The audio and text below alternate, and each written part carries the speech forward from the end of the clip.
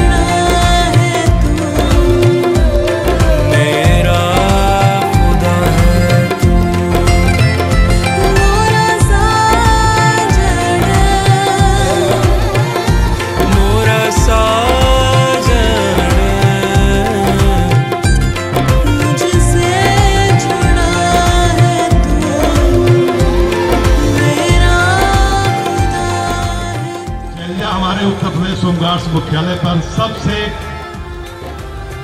कम उम्र की और सबसे नई अधिकारी है और उसने अपने काम से, अपनी मेहनत से, अपनी ईमानदारी से सबका दिल जीता।